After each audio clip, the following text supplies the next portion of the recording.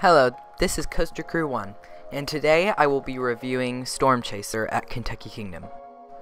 This was actually my second favorite coaster, new coaster, I rode this summer, behind Voyage, of course, and it has good reasoning for that. It's super strong ejector airtime, super fun inversions, and it looks like it has pacing issues, but it never feels like it has a slow or dull moment.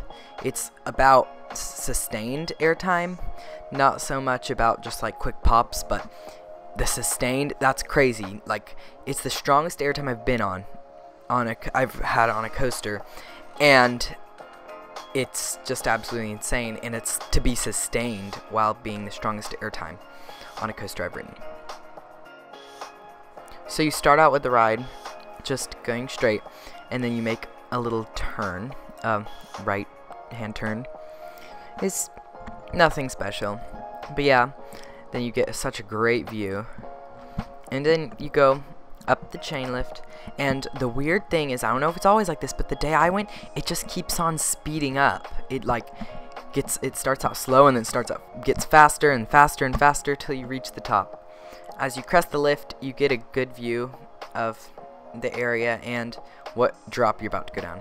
So you go through this really fun drop, which is floaty in the front and whippy in the back, and then you know it's going to be insane when it's already starting out with its weakest airtime moment right there that's sustained. Then you go through an overbank turn, flash inversion, and kind of like a off-axis airtime hill, another one, and then another overbank turn, then more sustained airtime.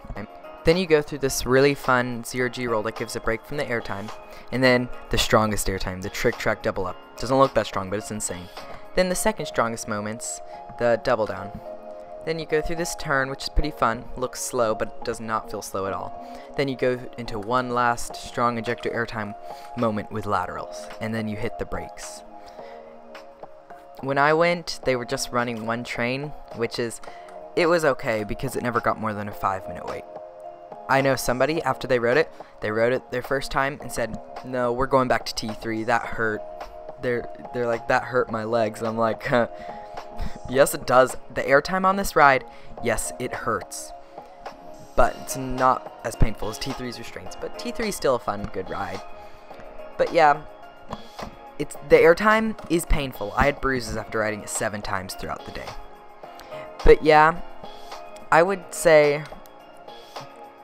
that um, this has the strongest airtime on a coaster I've ridden, and it gets stronger throughout the ride. The more, um, the further you go into the ride, the stronger it gets, and you just can't believe it's gonna get stronger. And, uh, um, but yeah, it's a really fun ride. The back is my favorite row, but the front's also really fun.